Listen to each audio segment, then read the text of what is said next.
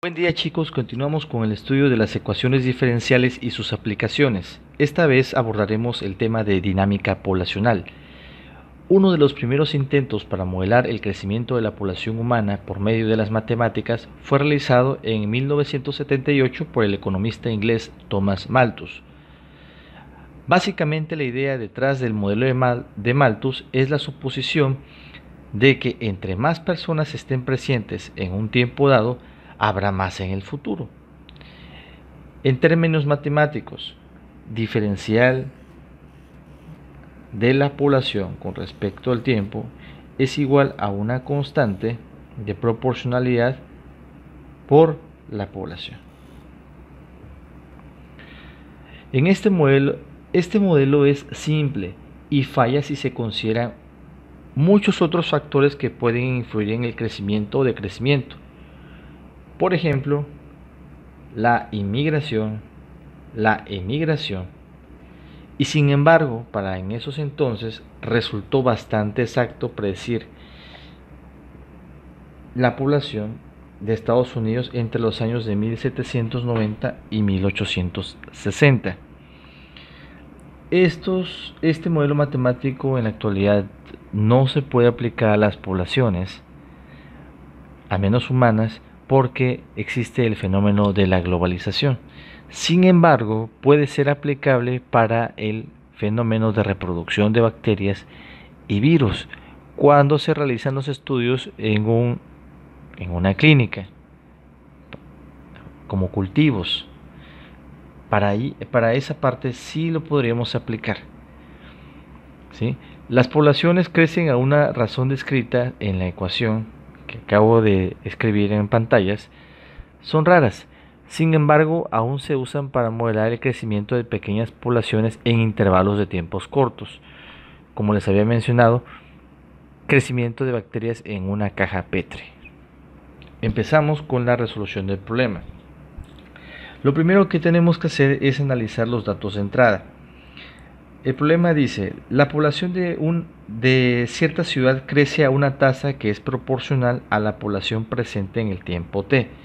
Entonces, a partir de ahí nos dice que sí podemos aplicar esa ecuación diferencial para la dinámica poblacional de, de ese problema.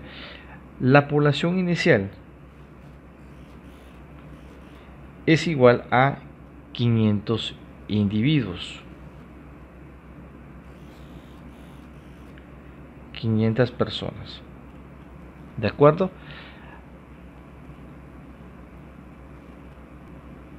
Y nos dice al ser por una población inicial que el tiempo estimado es el tiempo cero, porque es con la, a partir de donde nosotros iniciamos la comparación de crecimiento. Antes de poder, de poder aplicar esta ecuación diferencial tenemos que resolverla. Se resuelve a través del uso de ecuaciones separables o variables separables de la siguiente manera. Diferencial de P sobre P es igual a K diferencial de T. La solución queda de la siguiente manera. Logaritmo natural de P es igual a K por T más C. Aplicando propiedades de los logaritmos, vamos a tener entonces lo siguiente. Recuerden que con las propiedades de los logaritmos nosotros cancelamos los logaritmos y las funciones exponenciales quedando solamente p. Y en esta parte nos va a quedar c subíndice 1 e a la k por t.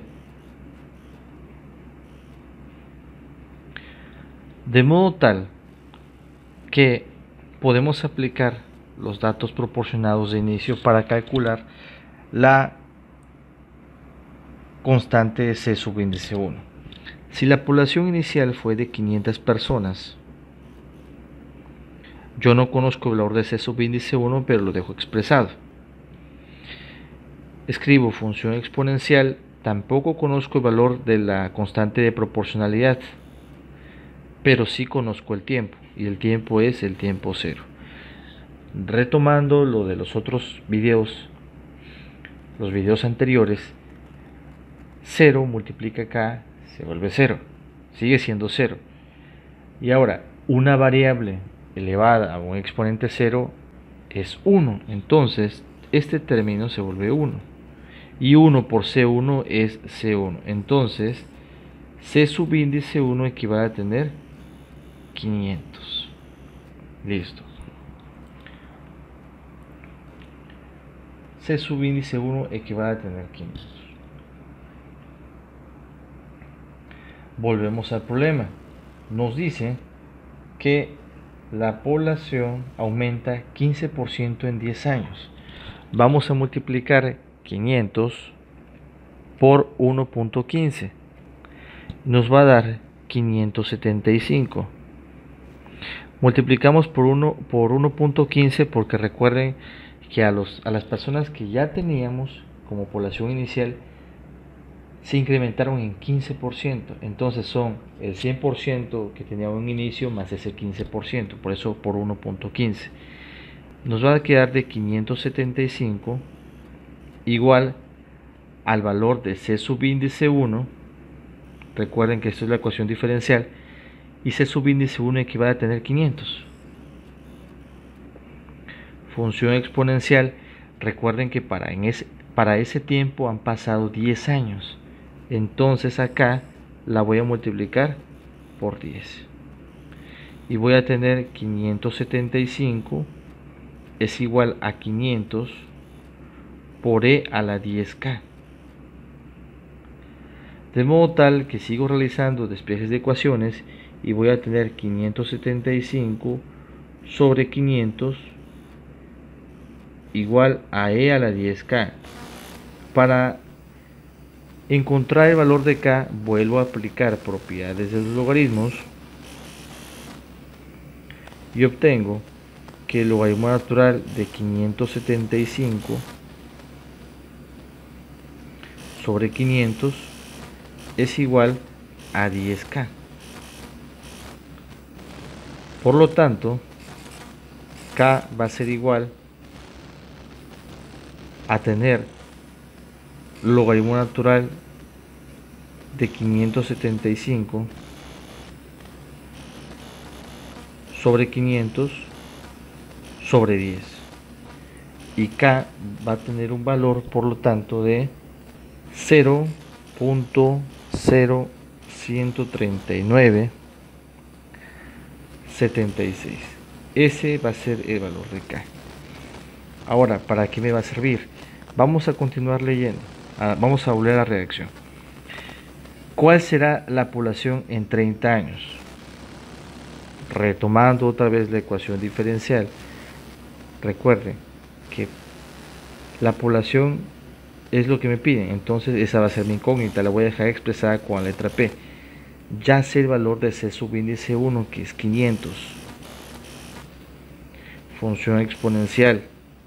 De nuevo, vuelvo a retomar mi ecuación diferencial, la solución y en lugar de escribir el valor de eh, k simplemente escribo 0.0 13 976 por el tiempo estimado de 30 años que lo escribo. Y la población va a ser igual entonces a la población va a ser igual a 760.43 personas. Esa va a ser mi población estimada. Ahora, recuerden que no pueden hacer eh, personas a medias. Entonces, se dice que el valor aproximado de la población es de 761 personas. Vamos a redondear positivamente por redondeo. La siguiente problemática que nos presentan es con cuánta rapidez está creciendo la población en t igual a 30. Recuerden que la rapidez, la diferencia, es un sinónimo de derivada. Y aquí lo que tendríamos que hacer es derivar nuestra ecuación diferencial con respecto al tiempo. Y es lo que vamos a realizar a partir de ahorita. Derivamos con respecto al tiempo sería derivada de la población con respecto al tiempo es igual a la derivada con respecto al tiempo de C subíndice 1 E a la K por T. Si realizamos eso, nos va a quedar diferencial de población sobre tiempo es igual a C subíndice 1 E a la K por T por el valor de K. De modo tal que a sustituir los datos, como sé que subíndice 1 vale 500, también conozco el tiempo y también conozco el valor de K, que es de 0.013976 y lo vuelvo a multiplicar, ya no esta vez como un exponente, sino como un coeficiente, 0.013976. Voy a obtener que el estimado de crecimiento por año en esa población es de 10.628 personas.